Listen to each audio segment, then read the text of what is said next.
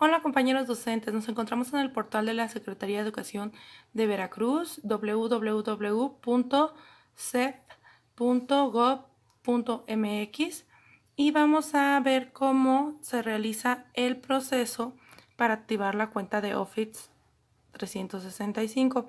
Aquí abajo, en esta barra de enlaces de interés que se está moviendo, nos va a aparecer ahorita la opción y entonces le vamos a dar clic encima. Miren, es este naranjadito. Yo le voy a dar doble clic. Me va a redireccionar.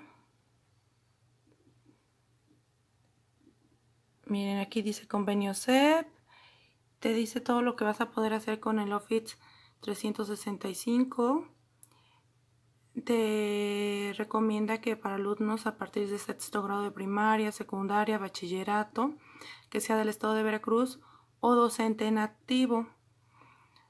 Eh, pienso que está muy bien, sobre todo para las escuelas que tenemos que compartir documentos. Bien, aquí te dice qué, qué puedes hacer, te va explicando. Y entonces aquí eh, tiene el diagrama de los programas. Aquí tiene el video donde te explica qué tienes que hacer. Y ahí en el video te dice que te vas a esta opción de recuperar cuenta. Aquí dice escoge tu perfil o elige tu perfil. Entonces, pues yo que soy docente, le pongo docente. Entonces aquí pongo mi CUR, pongo mi RFC, mi clave de trabajo le doy en recuperar y automáticamente ahí me va a generar mi cuenta porque yo decía, bueno, ahí la vas a recuperar, pero yo que nunca la he tenido, ahí automáticamente te da en recuperar tu cuenta, te da los datos que vas a tener con tu primera contraseña y te dice que después la puedes cambiar, pero ahí te lo genera, ahí nada más con esto, con que pongas tu perfil, CUR, RFC y clave del centro de trabajo, donde ellos van a comprobar que si, pues si eres del estado de Veracruz. Bueno, ahora vamos a ver qué pasa en el caso de un alumno. Bueno, aquí en el caso del alumno le pide el CUR, también la clave del centro de trabajo, el nivel educativo, si es básica o superior, el grado en el que está y el grupo. Y también al apachurrarle recuperar, ahí automáticamente le crea su cuenta. Y aquí si se fijan, aquí está la dirección. Si ustedes la teclean hasta aquí, hasta el 365, les va a mandar a esta opción donde ustedes pueden entrar.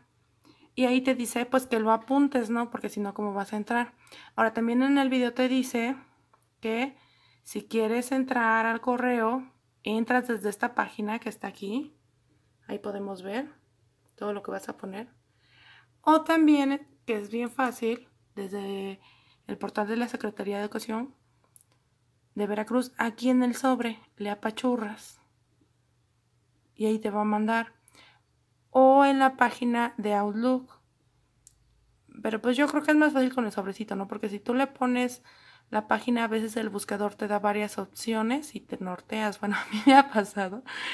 Y luego digo, ay, ¿a poco hay tantas opciones? Y se supone que había una página oficial.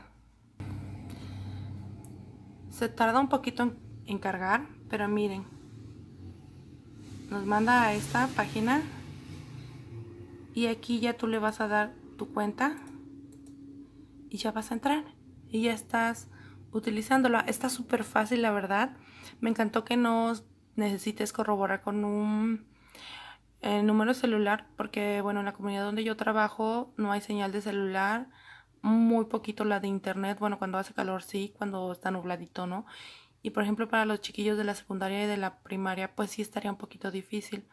Entonces esto sí, sí me encantó la facilidad con la que se crea, porque ellos cuando tengan el internet pues la pueden utilizar sin estar esperando la confirmación del celular en un lugar donde no hay señal, o donde para encontrar la señal te vas a tardar mucho y a lo mejor ya caducó, etcétera. Bueno, espero que les haya servido. Hasta luego.